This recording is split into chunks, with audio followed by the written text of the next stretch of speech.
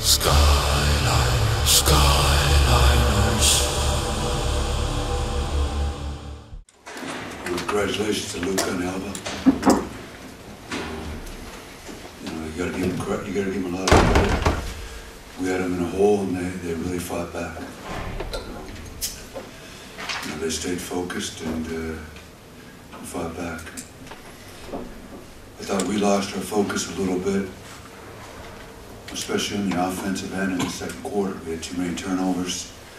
Alba got some, Alba got some layups going the other way off their defense.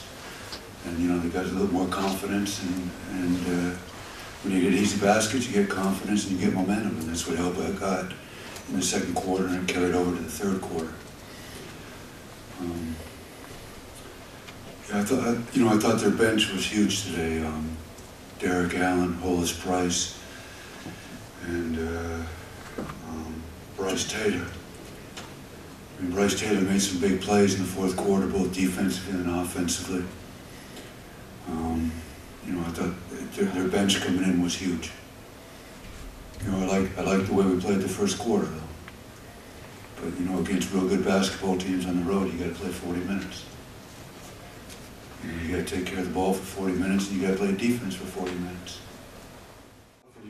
You know, we made some mistakes where we don't know the plays. We had a couple of mistakes where we didn't know the plays, and we turned the ball over, and uh, you know, it's, it's it's tough enough playing against a team of the caliber of Alba, but you know, if you, if you make you can't you can't you can't make you can't make mistakes, um, unforced errors to a certain extent, and because we're going to have errors a lot against a, a team like this. So.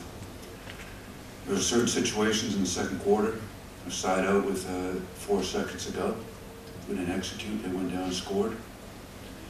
Um, you know, so, but you know, I, I think they, they deserve to win. Like Coach said, they made big plays at the end. They played hard. They fought their way back. They had the momentum, and we couldn't really. I thought Bryce Taylor made a huge play when we had a dunk underneath with Joe Dabbert. To you know, we had a ball right underneath, and Bryce Taylor came over and blocked the shot. We would have had a chance to go by two. Congratulations, Peter. I would like to express my high opinion of the way that uh, Frankfurt is playing this year.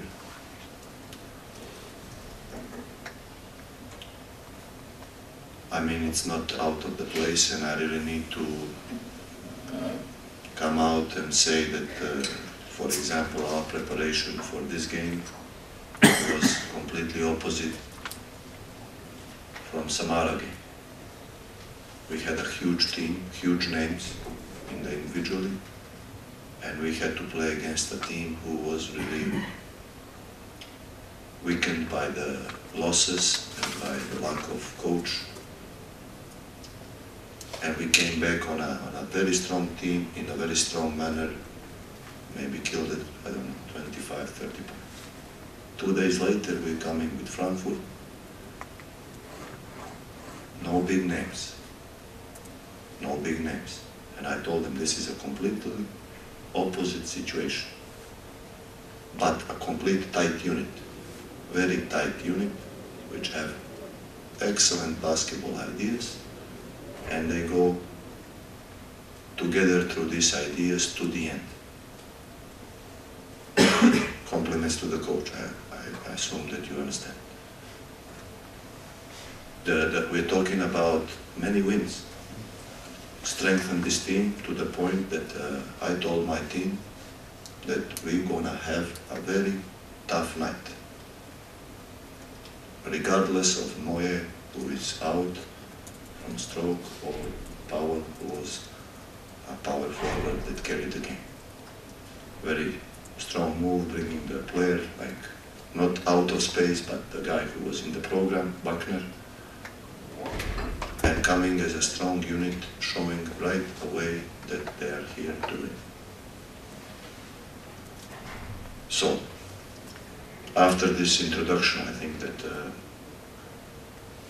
it's okay that you allowed me to. I would like to congratulate my players on an excellent win.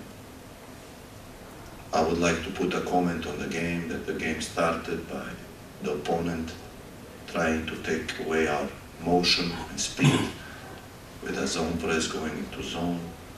It took our usual flow of offense, which would be very problematic for Nolte and uh, Tagar, Tabert to follow.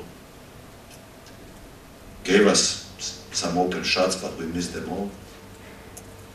And then the point was getting confidence by working as well in the first quarter.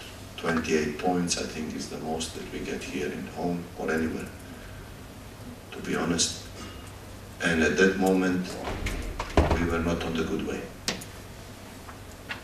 I think what we consolidated was, first of all, approach in our offense towards this combination of defenses.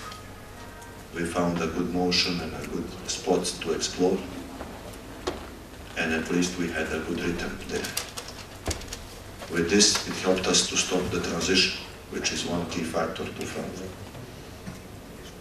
Second, we slowed, we stopped uh, Wood from making this damage that he did in the first half, and we adjusted to the several tactical situations that were new to us and that worked in the first half. So basically, I think that uh, deep into the second half, we had this game, let's say, into our hands, but still the game that would run open to the very end. For handling this game, we needed big plays, as the coach said, both end defensively and offensively. We found our way to do both, and I think we completely deserved at the end a win against a tough opponent, as I was trying to explain in our introduction. One more time, I would like to congratulate my players, as well as the opponent, coach, and the team on their performance and uh, this game and the previous to wish them to keep on going the same way. For us, we have morning flight to Caserta, and on Tuesday evening we have to fight for uh, for uh, next goal, which is to move into the next round of Europe. Of course, that's another question, and uh, I think that right now we stick with this game. And uh, speaking for, I think both of us, the coaches will be ready to answer your questions. Yes. Sky.